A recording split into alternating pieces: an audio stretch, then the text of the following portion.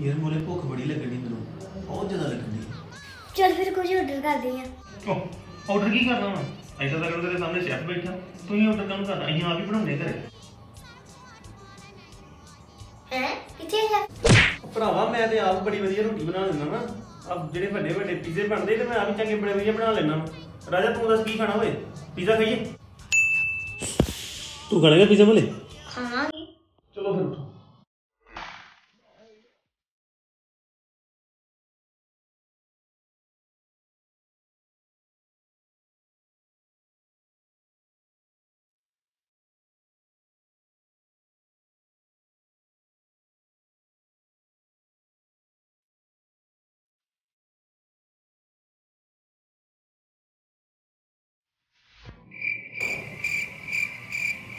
ਯਾਰ ਪਰ ਇਹਨੂੰ ਹੁਣ ਕਿੱਦਾਂ ਕਰੀਦਾ ਮੈਨੂੰ ਨਹੀਂ ਪਤਾ।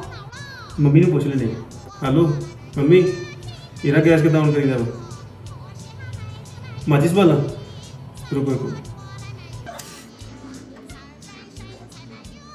ਅਜੇ ਮੈਂ ਯਾਰ ਮਾਚਿਸ ਸਾਰੀ ਬਾਲਦੀ ਪਰ ਆ ਗੈਸ ਤੇ ਬੜਾ ਨਹੀਂ ਹੈ ਮੋਰੇ ਤੂੰ ਇਦਾਂ ਕਰ ਤੂੰ ਮੈਦਾ ਗੁੱਲ ਤੇ ਰਾਜੀ ਤੂੰ ਕੈਪਸਿਕਮ ਕੱਟ ਲਾ। ਮੈਂ ਸਮਾਨ ਕੱਟਦਾ ਬਸ ਕੀ ਭਰਾ ਕੈਪਸਿਕਮ ਦਾ ਨਹੀਂ ਪਤਾ ਤੈਨੂੰ?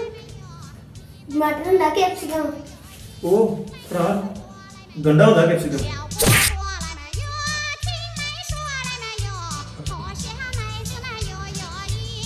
ਮੁਈ ਅੱਜ ਦਾ ਲੋਗ ਹੁੰਦਾ ਵਾ ਇਹ ਕਿੰਨਾ ਕੁ ਲੌਂਗ ਹੁੰਦਾ।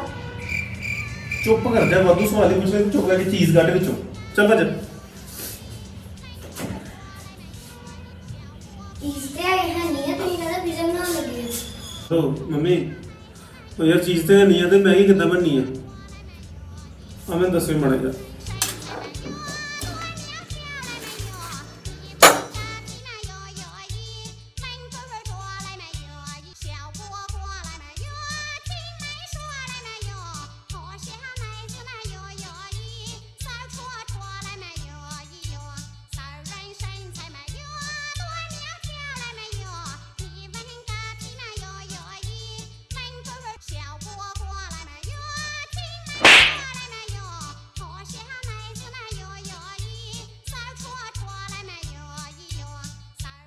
人。ਬੜੀ ਸਵਾਦ ਬਣੀ ਹੈ ਮੈਨੂੰ ਦੇ ਦਿਓ।